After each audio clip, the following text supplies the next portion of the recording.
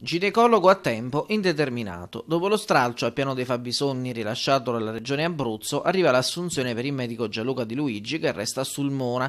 Erano pronte già le valigie per il trasferimento nell'ospedale di Vasto, dove doveva prendere servizio il 16 aprile, dopo aver vinto il concorso bandito dall'ASL di Chieti. Su richiesta della locale azienda sanitaria, la regione ha dato il via libera alle assunzioni a stralcio per stabilizzare il ginecologo nella pianta organica del reparto, ma l'ultimo passaggio decisivo c'è stato proprio oggi oggi. L'ASL di Chieti e quella di Avezzano su Mona l'Aquila hanno infatti stipulato la convenzione per permettere l'assunzione a tempo indeterminato del ginecologo nell'ospedale di Sulmona. Attendo questo momento dal 1992, ha scritto Di Luigi su Facebook. Tanti cambiamenti sono intercorsi nella mia vita da allora, ma ho potuto comunque sentire forte l'abbraccio di chi non c'è più su questa terra, ma vive costantemente nel mio cuore. Grazie a coloro, davvero tanti, che mi hanno supportato in questi mesi e per me è un onore continuare continuare ad essere a tempo indeterminato uno dei ginecologi del presidio ospedaliero di Sulmona.